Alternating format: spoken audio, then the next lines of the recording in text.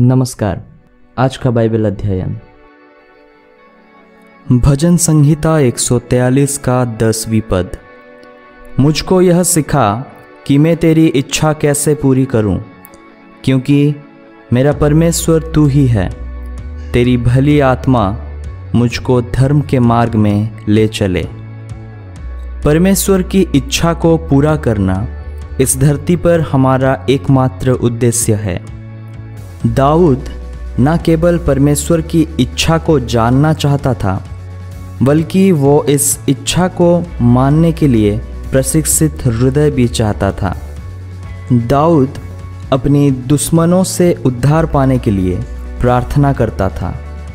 दाऊद ने अपनी परेशानियों के बीच परमेश्वर की उपस्थिति के लिए प्रार्थना की। उसने परमेश्वर से उसे सही तरीके से नेतृत्व करने की मांग की।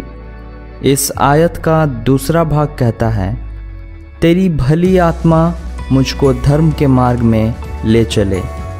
जब हम परमेश्वर की इच्छा पूरी करते हैं तो वो हमें अधर्म की भूमि में ले जाता है। हम उस भूमि में अपना रास्ता नहीं खोज सकते जब तक कि परमेश्वर हमें ना दिखाए। और हमें उसके हाथ से ले जाए। परमेश्वर की आत्मा हमारा मार्गदर्शन करेगी और हर समय हमें सही तरीके से रखेगी। जैसा कि इस आयत वचन बारहवीं में उल्लेख किया गया है, और मेरे सब सताने वालों का नाश कर डाल, क्योंकि मैं तेरा दास हूँ। हमें अपने दुश्मन, हमारे पाप के विनाश की तलाश करनी चाहिए। हमारे परमेश्वर की कृपा से हम अपने सभी पापों से मुक्त हो जाएँगे। भजन संहिता 25 का चौथी अध्याय। हे यहोवा, अपने मार्ग मुझको दिखा, अपना पथ मुझे बता दे। अपने जीवन में परमेश्वर की इच्छा का पालन करने की इच्छा रखें।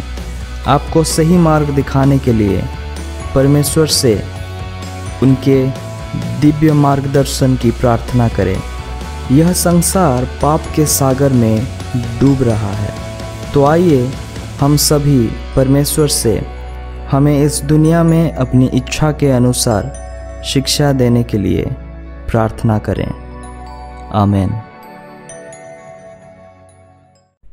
यदि आपने अभी तक सब्सक्राइब नहीं किया है तो कृपया सब्सक्राइब बटन पर क्लिक करें।